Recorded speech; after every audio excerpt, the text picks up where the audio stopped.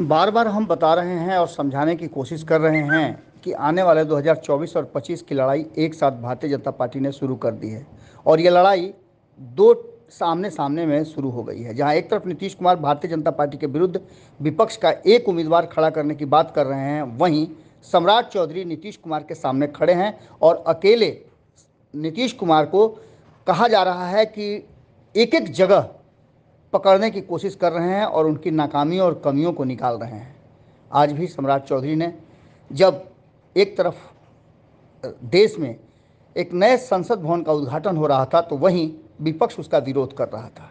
इन सवालों के जवाब आप समझ सकते हैं कि किस तरह से भारतीय जनता पार्टी देगी और कितना इस मामले को लेकर के विपक्ष एकजुट होकर के अपनी शक्ति का प्रदर्शन कर रहा था।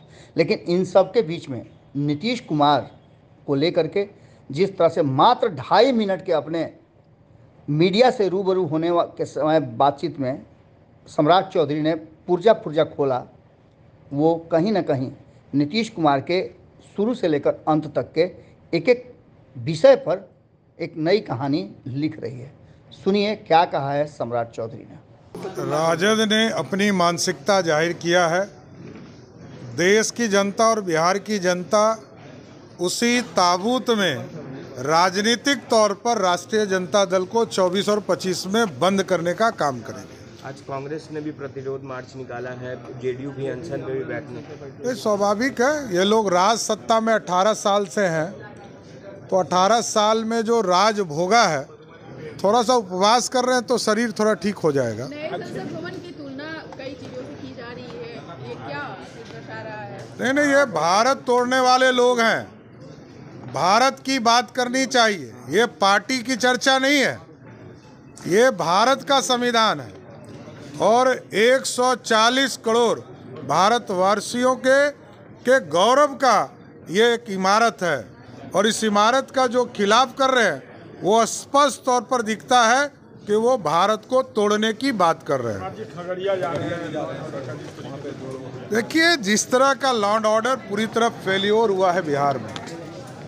अपराधी तांडव कर रहे हैं और नीतीश बाबू आराम से चैन की नींद सो रहे हैं। मतलब एक ही गाँव में कई हत्या हो रही है। कुछ नहीं हो सकता। अब नीतीश कुमार जी से ही मुक्ति के बाद बिहार में अपराधी शांत हो सकते हैं। क्योंकि ये तो अपराधी छोड़ने वाली सरकार है।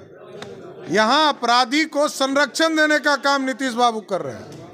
और हम लोग कह रहे हैं कि या तो अपराधी को जेल में बंद करो नहीं तो ज़मीन के अंदर ताबूत में उसको बंद करने का काम करो। जी बीस दल जो है वो इस उद्घाटन समारोह का बहिष्कार कर रहे हैं। कह रहे हैं कि विपक्षी एकता इससे मज़बूत हो रही है।